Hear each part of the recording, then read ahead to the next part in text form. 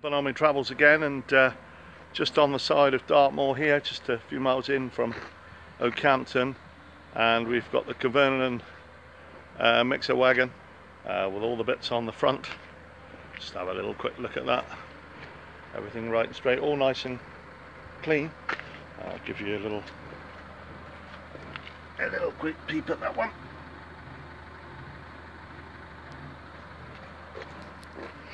Um, been on the farm for quite a while and uh, the man just changed the system, doesn't really use it anymore, he's just washed it off and it is what it is and to be honest it's pretty tidy. Um, hitched up there, stood in the yard and uh, all nice and tidy at the back. Nothing rotted, nothing rusted really.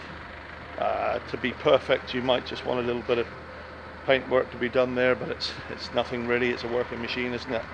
And uh, to where the important parts are. All the rams look fine, and uh, yeah, nice bit of kit really. To somebody. Um, okay, speak to you soon. Bye.